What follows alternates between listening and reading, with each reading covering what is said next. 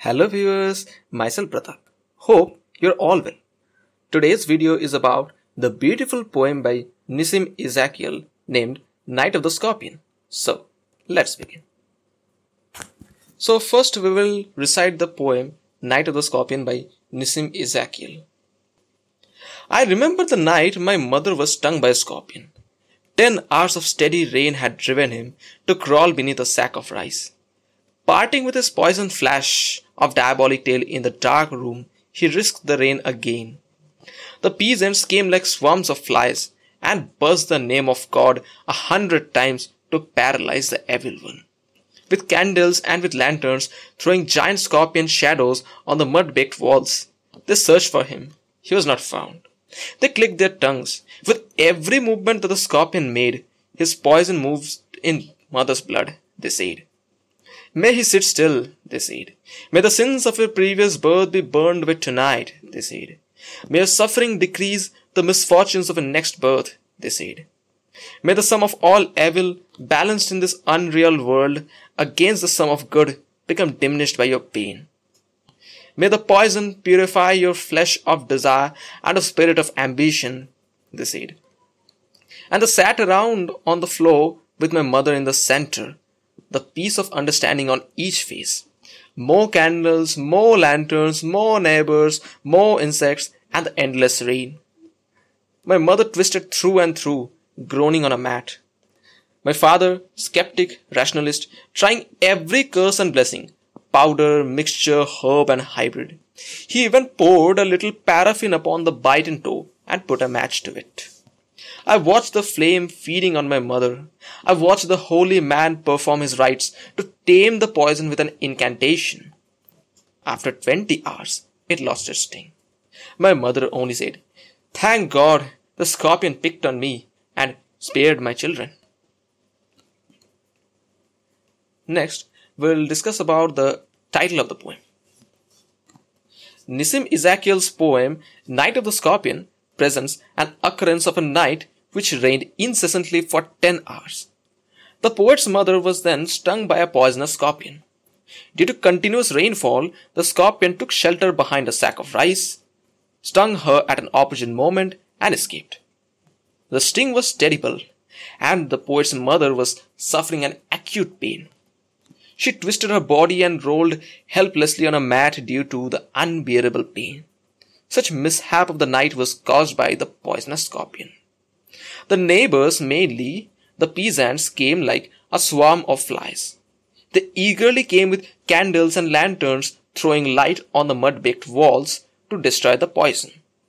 They spared nothing prayers, incantations, and elaborate searches. Their motto was to detect the scorpion, stop the spread of evil in it, and quickening the cure of the stung woman.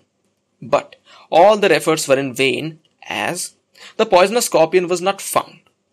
Finally, they sat around the suffering mother expressing the superstitious interpretations regarding the impact of the sting of the scorpion. They passed the rainy night in such jobs. The poet's father, a skeptic and a rationalist, kept himself busy with drugs, herbs, and hybrid to provide relief to his wife. He spared nothing as he poured a little paraffin on the bite toe and ignited it with a match. After 20 hours, the poet's mother was relieved of the poisonous scorpion sting. As the poem is all about the sting of the scorpion and the mad search for it by the neighbors and the family, so the title of the poem seems appropriate. Next, we'll talk about the central theme of the poem. In the poem Night of the Scorpion, the poet tries to recall a night which rained incessantly for 10 hours. A scorpion took shelter behind a sack of rice and stung the poet's mother. Afterwards, it disappeared in the rainy night. The poet's mother suffered tremendously, and her suffering was reported all over the village. The villagers, mostly peasants, came to the house and prayed to God to destroy the evil force. They searched for the scorpion with candles and lanterns on the mud baked walls, but in vain. The villagers later delivered the superstitious observations that the scorpion sting might help to burn the sins of her previous birth, reduce the misfortunes of her next birth, and the sum of all evil balanced in this unreal world against the sum of good become diminished by her pains. The poisonous sting might also help to purify her flesh of desire and spirit of ambition. They were finding a remedy to cure the illness. The woman twisted her body and groaned on a mat with tremendous pain. The poet's father had no such interest in such superstitious beliefs and fears and tried to provide relief to his wife on medical lines. Some holy persons came who recited holy spells to cure the power of evil. However, after 20 hours, the woman was relieved of the poisonous scorpion sting. She was thankful to God that the scorpion had not affected her children. Next, we will talk about the critical appreciation of the poem Night of the Scorpion. The poem Night of the Scorpion, one of the finest poems in the recent Indian English literature, was published in his book, The Exact Name, in 1965. Ezekiel belongs to a Bene Israel family which migrated to India generations ago. Thus, he was substantially eliminated from the core of the Indian ethos, life and society. And he was aware of his alienation. The alienation theme is thus central to Ezekiel's work and colors his entire poetic universe, except his popular masterpiece, Night of the Scorpion which narrates a tale situated in an Indian background, portrayed beautifully in an objective style. The central theme of Nissim Ezekiel's poem, Night of the Scorpion, revolves around the theme of good versus evil, coexistence of spirituality, rationality, and skepticism. It portrays the superstitions present within the rural background of the then Indian society. Instead of all these local themes, a mother's universal selfless love is dominant in the poem. The poem is confined within a village setting where the outlook is very traditional. The poem starts with the poet's experience of a night when his mother was stung by a scorpion. The word scorpion signifies that the setting is in a rural area, as they are rarely found in the cities, and scorpion bites can be fatal in a rural area due to lack of medical facilities.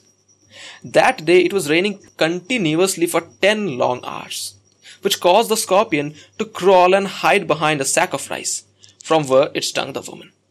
The reference of a sack of rice also indicates of a rural Indian household.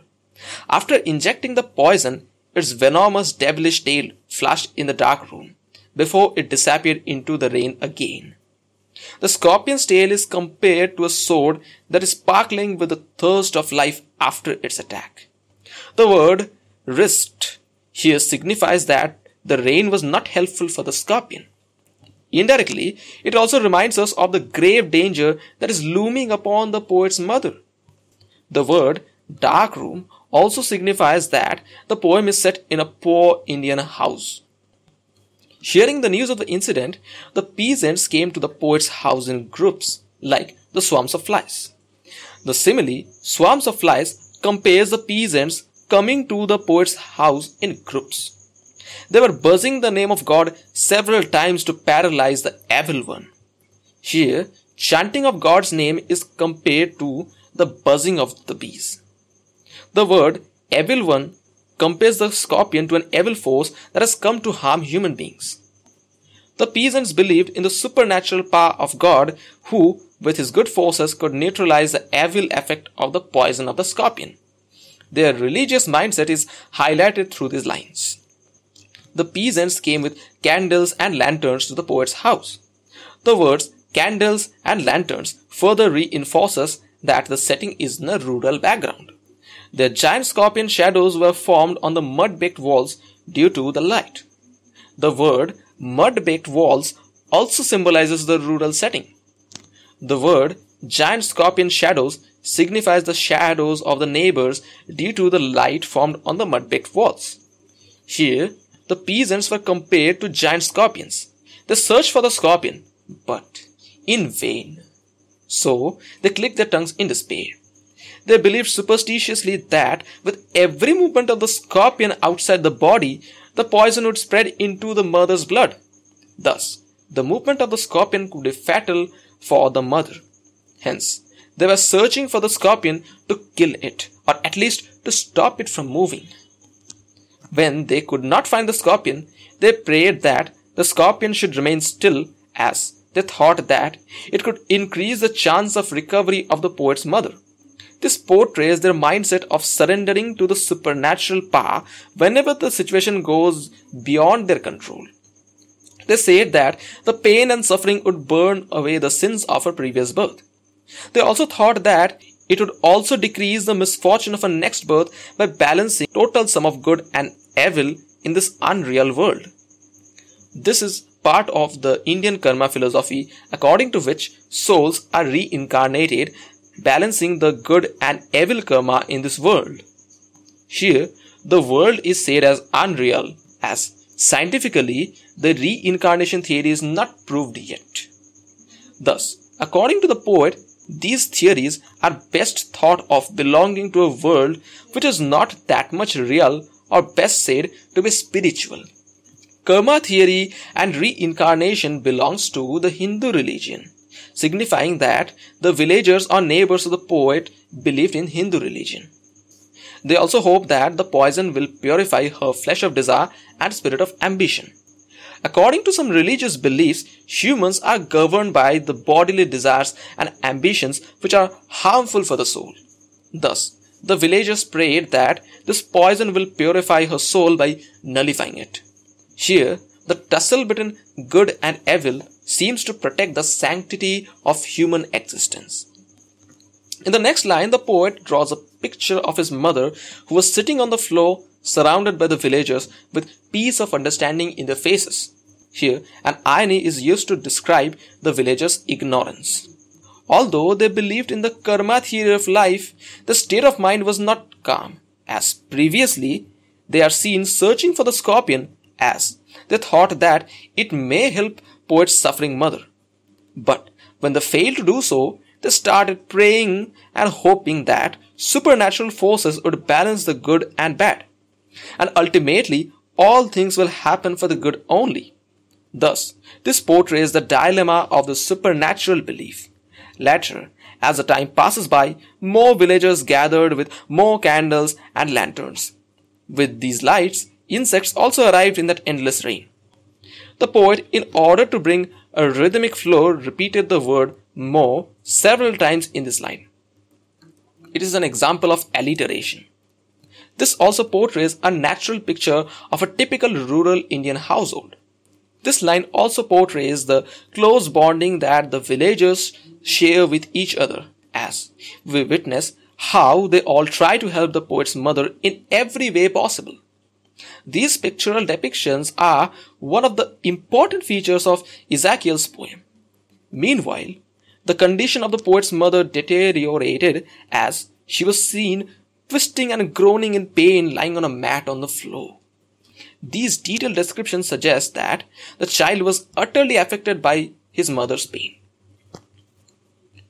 Among these spiritual minded people, there is only one skeptical and rational figure, the poet's father, who, in order to save the poet's mother, keeps no stones unturned. He tried every curse and blessings, powder, mixture, herbs, and hybrid, in order to cure her. He even experimented by pouring a little paraffin upon the bitten toe and lit a match to it in the hope that it will burn the poison blood, curing the woman. Witnessing the flames on his mother's toe, the poet frightenedly imagined as if the flame is a devil engulfing his mother. They also brought a holy man to perform some religious rites in order to tame the poison with an incantation. Here, we witness all kinds of traditional and modern approaches being used to relieve the pain, although the villagers don't even bother to call a doctor. Thus, it indicates how alienated they are from the medical facilities, which is easily available in any urban cities. After 20 long hours of efforts and suffering, she was somehow relieved of the poison and her life was saved. Thus, time is proved to be the best healer. Till now, the poem portrays a story of an Indian rural society. The final paragraph of the poem portrays the intense love for children, making a universal appeal. Here we see that after recovering from the painful torment of 20 long hours, the only prayer made by poet's mother was about her children. She thanked God as the scorpion stung her and spared her children, because as a mother, she could not tolerate the pain and suffering of her children. Thus, she readily accepts all sufferings to see her children safe and secure. Through these lines, we witness the universal, unconditional motherly love, which is devoid of any social, religious, cultural, and regional backgrounds. Thus, in the last paragraph, the poem becomes universal from the very local Indian setting. This is one of the marvelous characters of this poem. This poem, Night of the Scorpion, is an expression of Nissim Ezekiel's childhood experience, which had affected him so much that he remembers the incident in details. The poignant and heart touching poetic portrayal of a rural situation speaks about the Indian ethos with a touch of gentle irony. The poem is written in free verse and it follows the style of many modern Indian poets writing in English. The poem juxtaposes the pain and horror of the unfortunate night alongside a humorous depiction of the attitudes of simple and ignorant but concerned villagers. The depiction of supernatural elements highlights the spiritual beliefs of the villagers. The Indian philosophy of karma theory, purification, and reincarnation can also be witnessed in the poem. The tussle between traditional and modern approach is also evident in the poem. But all these themes were outshadowed by the universal motherly love and sacrifice portrayed in the poem. The first person narration of a child's experience adds a lively tone typical in Indian manner of narration. Thus, this poem is a depiction of India in its true colors. So, we have come to the end of this video lesson. Here are the names of some of the books from which I have gathered information. Thank you. Goodbye. Meet you soon.